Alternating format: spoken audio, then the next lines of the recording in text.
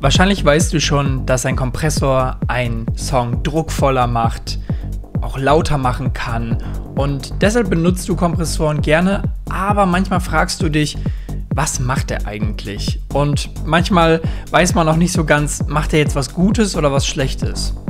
Heute klären wir die Frage und nach diesem Video kannst du auf jeden Fall Kompressoren sehr bewusst anwenden und musst dich nie wieder fragen, ist der Kompressor überhaupt an?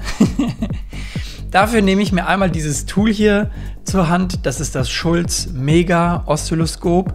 Ähm, kostet ein bisschen was, aber ich muss sagen, das hilft wirklich sehr, wenn man sich Dynamik anschaut. Ja, wir nehmen uns hier einmal diese Session her und gucken Spur für Spur mal, wie wir den Song hier fetter machen können. Und ganz am Ende gucken wir uns noch den Limiter an, der das Ganze hier dann so richtig voll und laut macht. Also, gehen wir mal in die Kick rein. Die Kick ist nicht weiter kompliziert, ein sehr, sehr einfaches Signal, aber so können wir uns das auch besser veranschaulichen. Es gibt ja in Ableton einmal den normalen Ableton-Kompressor und den Glue-Kompressor, den kennt ihr vielleicht schon. Der Glue-Kompressor ist vor allem natürlich für Gruppenbearbeitung, um sie zusammenzukleben. Deswegen werden wir den auch in dieser Gruppe, in der Drum-Gruppe verwenden und bei der Kick erstmal ganz explizit auf den Ableton-Kompressor eingehen. Ja, der Ableton-Kompressor hat einen Knopf, den ich besonders wichtig finde, und zwar ist das hier rechts der Peak und der RMS-Modus.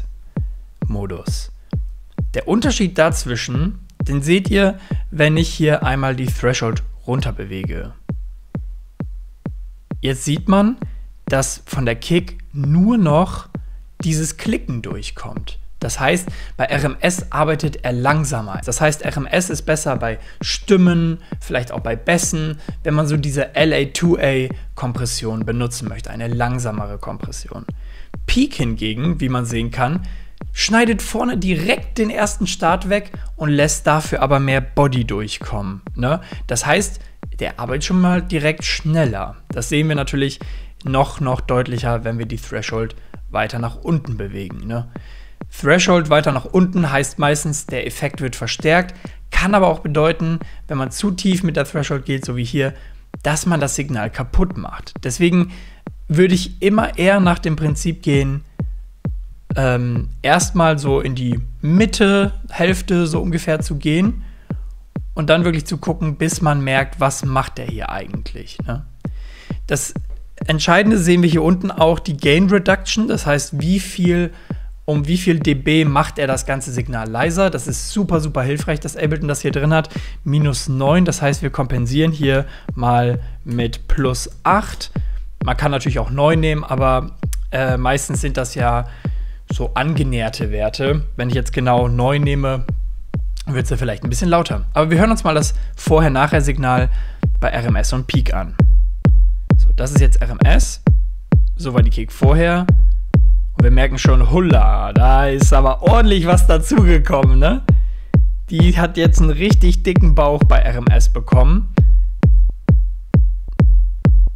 Dafür knackt aber auch die Transiente jetzt so komisch. Wenn wir auf Peak gehen, uh, da wird die noch fetter. Kriegt die richtig, richtig Body. So klingt sie ehrlich gesagt für mich irgendwie richtiger das hat irgendwas bisschen komisches bei RMS, aber das klingt richtig, richtig gut. So, wenn ich jetzt die Attack mal länger drehe, dann holen wir uns den ganzen originalen äh, Punch wieder, der in der echten Kick hier vorne drin war, also in der, in der vorherigen Kick, sorry. Und jetzt können wir sozusagen ein bisschen abschmecken, wie viel davon möchten wir überhaupt haben. So ist ungefähr gut, finde ich gut. Und mit der Release können wir jetzt entscheiden, okay, möchten wir jetzt mehr Body oder weniger Body haben? Was denkt ihr denn? Wo dreht man hin? Links oder rechts? Also wenn man die Release länger macht, genau wie auch die Attack, kommt mehr von dem Originalsignal durch und jetzt haben wir im Grunde einfach eine verleiserte äh, Originalkick. Im Grunde funktionieren so auch Limiter sehr langsam und transparent. Wenn wir jetzt die Release kürzer drehen, weil dann holen wir wieder ordentlich Body zurück. Und ihr hört jetzt auch, okay, jetzt fängt sie an zu verzerren. Das kann man sich schon mal merken. Sehr kurze Zeiten, ne, also auch zum Beispiel eine sehr kurze Attack-Zeit, bringt die Kick einfach zum Verzerren. Das heißt, das Einzige, was man zum Beispiel jetzt bei Kick-Signalen oder bei Bass-Signalen nicht machen sollte, ist zu kurze Zeiten benutzen. also man will einen Hardstyle-Kick haben. So, ich lasse es aber mal auf 1 und drehe jetzt nochmal die Release vielleicht so ein bisschen. Und wie schon vorhin gesagt, eine Threshold hier unten ist nur für Veranschauungszwecke gut. Ansonsten bei euren echten Projekten solltet ihr natürlich irgendwo hier sitzen. Und jetzt haben wir es geschafft. Das war unser Kick vorher. Boom. Richtig schön fett. Ja, mir ist sie tatsächlich sogar schon zu bauchig. Deswegen verlängere ich hier die Release ein bisschen und mache sie vielleicht noch ein bisschen, bisschen kürzer, so ungefähr 50. Und dann finde ich, sitzen wir eigentlich genau im richtigen Spot. Wenn ihr jetzt noch das abschmecken wollt und vielleicht die vorherige Kick mochtet, könnt ihr natürlich über eine parallele Kompression diese neue Kick zumischen. Das mag ich auch sehr, sehr gerne. Hier bei 50 klingt es absolut top. Wir haben einfach ein bisschen mehr Body dazu geholt. Das war schon mal die Kick, die haben wir jetzt richtig fett gemacht im Track. Vielleicht sogar schon ein bisschen zu fett. Ich mache mal ein bisschen weniger davon. Aber das müssen wir gleich alles beim Bass wieder so ein bisschen kompensieren. Als nächstes nehmen wir uns die Hi-Hats her. Ich habe extra sehr, sehr kurze Hi-Hats gemacht. Und ich lege den gleichen Kompressor dahinter. Dann sehen wir, da passiert ganz schön viel.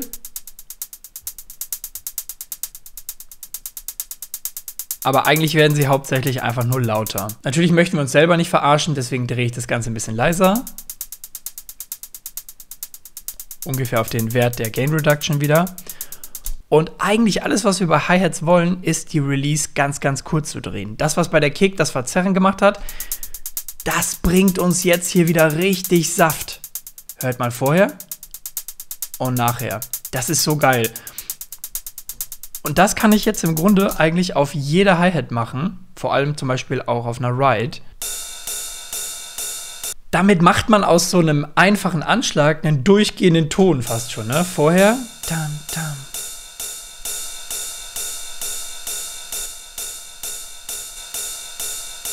Und wenn man jetzt noch mehr von diesem Anschlag haben möchte, um wieder das natürliche Signal zu haben, dann kann ich natürlich ein bisschen Attack verlängern. Und dann kommt wieder ein bisschen mehr von diesem Klacken durch. Meistens, also in den meisten Fällen, möchte ich eigentlich, dass meine Rides so klingen, so richtig voll. Denn das macht natürlich im Gesamttrack viel mehr her, weil das Signal wirkt einfach dann auch viel lauter. Ne, vorher.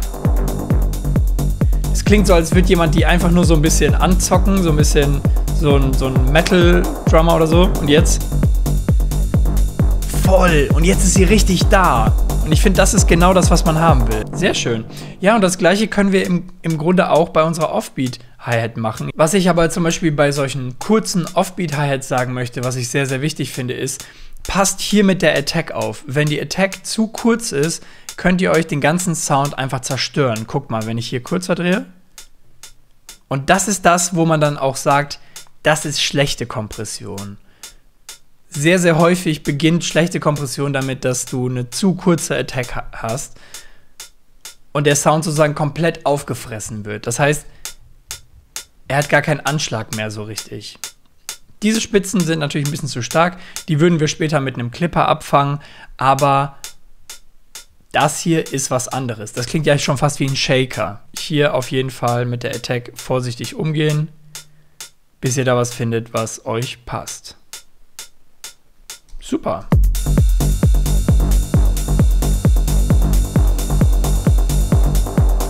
Sehr nice. Dann haben wir jetzt die Hi-Hats fett gemacht. Dann können wir jetzt uns mal ein bisschen um diese Gruppen-Glue-Kompression kümmern.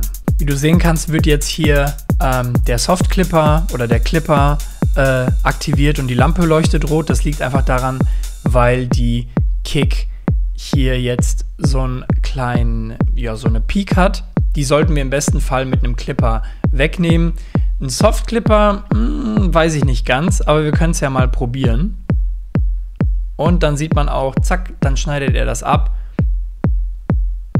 Und da ist jetzt klanglich auch nichts verändert worden. Von daher sehr schön. Manchmal kann es bei Softclippern auch passieren. Ich zeige das mal, wenn ich hier lauter mache.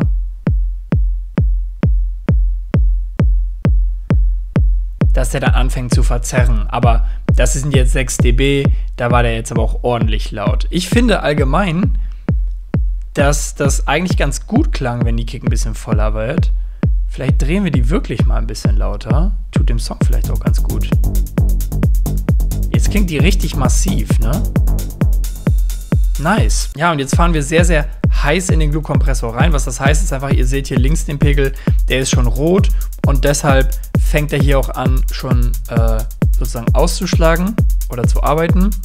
Normalerweise möchte man ja eigentlich das ein bisschen kontrollierter haben. Kann auch hier so ein bisschen softer reinkommen. Aber ich muss ganz ehrlich sagen, hier ist es jetzt für mich gar kein Problem, weil genau so viel hätten wir jetzt ja sowieso weggenommen. Was beim Glue-Kompressor noch interessant ist, ist, dass die Ratio auch ein bisschen steuert, wie das Nie sich verhält. Das heißt, wenn du hier bei 2 bist, fängt er schon viel, viel früher an, das Signal abzugreifen und arbeitet dementsprechend dann auch früher und mehr. Wenn du bei 10 bist, arbeitet der so ein bisschen mehr wie so ein Limiter. Die hörbaren Unterschiede da sind etwas gering, aber ich finde immer, dass der 10er Ratio härter klingt. Hören wir nochmal rein. Ne? Das klingt so weich und boah, irgendwie auch nicht schön.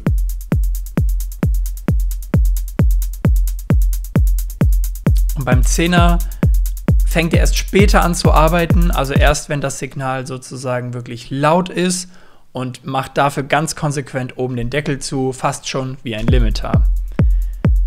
So, und normalerweise würde man natürlich hier reingehen und die Threshold absenken, das kennt ihr ja alle, aber wie ihr merkt, jetzt ist das Ding im Arsch. Jetzt klingt das einfach scheiße. Und das ist ganz ehrlich sehr, sehr, sehr wichtig, dass man merkt, wann ein Kompressor was kaputt macht. Dann gibt es nur einen Schritt. Löschen. Weg damit. Keine halben Sachen. Wenn du merkst, ein Kompressor macht Sachen kaputt, löschen. Aber meistens ist das Problem in der Threshold oder in der Ratio verborgen. Einfach wieder ein bisschen zurückdrehen. Nach dem Kiss the Needle Prinzip, dass der Kompressor einfacher arbeitet. Genau. Und ganz ehrlich, das bisschen, was wir hier jetzt gemacht haben, hat schon viel mehr Druck gemacht. Jetzt können wir ein bisschen Make-up machen, weil wir sehen ja, der ungefähr 1, 2 dB duckt er hier ja weg. So, jetzt hören wir mal das Vorher-Nachher.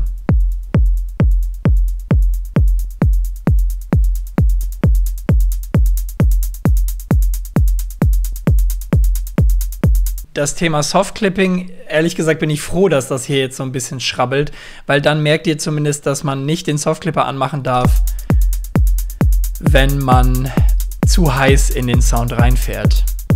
Ansonsten würde ich natürlich einfach auch raten, levelt eure Sounds richtig, damit die nicht zu heiß in den Limiter reinfahren. Boah, nee, aber der Body klingt total schrecklich. Hört mal, wenn ich das auffahre, ich brauche mehr Body. Das heißt, ich muss hier kürzer werden. Und das ist so der Punkt, wo ich den Glue-Kompressor nicht so wirklich mag, wenn ich ehrlich bin. Häufiger als nicht geht da irgendwas kaputt, weil die Release einfach irgendwie dann doch so träge ist. Deswegen, wenn ihr mit dem Glue-Kompressor arbeitet, bleibt bitte immer in diesem Bereich hier zwischen 1 und 5. Wirklich, wirklich, wirklich. Kann ich euch nur ans Herz legen. Vorher, nachher, okay, wir können noch ein bisschen. Und ihr seht, ich bin eben mal am Gain matchen. Jawohl, jetzt ist die Kick richtig voll. Bum, bum. Sehr schön.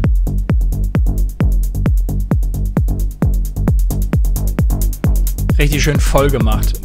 Wichtig immer, dass ihr euch nicht verarscht. Ne? Also ich, ich könnte jetzt auch hier ganz locker flockig plus 7 drehen, aber wir sehen ja, die Gain Reduction ist nicht 7, deswegen ähm, nicht lauter machen, als es vorher ist, sondern es sollte immer alles auf einem Level bleiben und der Charakter von eurem Kompressor sollte gut genug sein, dass er auch bei gleicher Lautstärke besser klingt. Deswegen immer die Gain Reduction und das Make-up im Auge behalten. Ach ja, stimmt, das habe ich völlig vergessen. Immer das Make-up-Gain ausmachen. Das ist so fatal. Macht das unbedingt immer aus. Das verrechnet sich durchgehend. So, jetzt haben wir die Drums abgeschlossen. Jetzt kommen wir noch eben zu dem Bass, sowieso mein Lieblingsthema. Und da nehme ich tatsächlich auch lieber dann den normalen Kompressor her. Und hier können wir auch mal probieren, wie das Ganze mit RMS so funktioniert. Vielleicht ähm, können wir, wenn wir hier mal so ein bisschen kompensieren, merken, oh wow, guck mal. Das funktioniert sehr gut weil dieser Anschlag, der gerade eben bei der Kick durchgekommen ist, den möchten wir auch beim Bass, dass der durchkommt. Natürlich können wir das auch mit Peak einstellen und die Attack länger machen.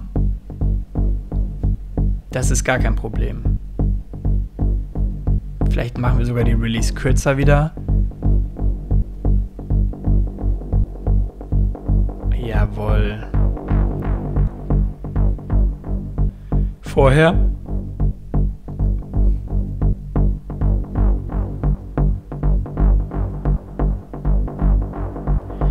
Man hat direkt das Gefühl,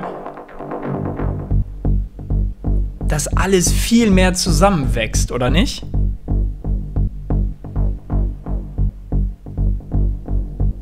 Ich habe auch das Gefühl, der Bass wird viel fundiger untenrum.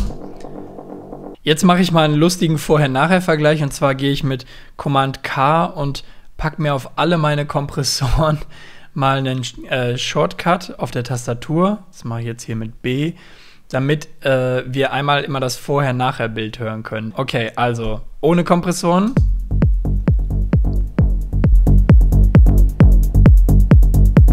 Und mit.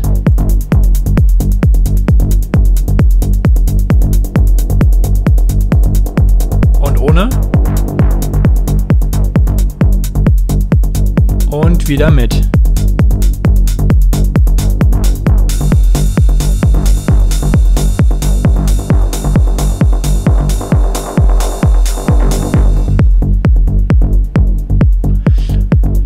Das, was wir jetzt als Clipping gehört haben, darum kümmern wir uns jetzt mit dem Limiter. Denn der Limiter natürlich ist dafür da, um alles, was über Null geht, abzufangen. Und dann vielleicht noch ein bisschen weiter zu boosten.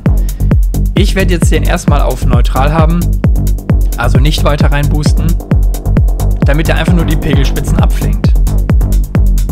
Boah, ey, mit Kompressor klingt das so viel fetter. Jetzt nochmal ohne. Und nochmal wieder mit.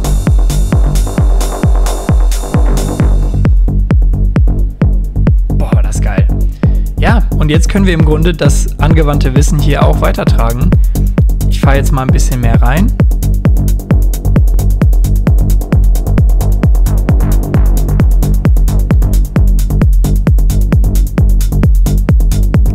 Mal mit Attack und so spielen.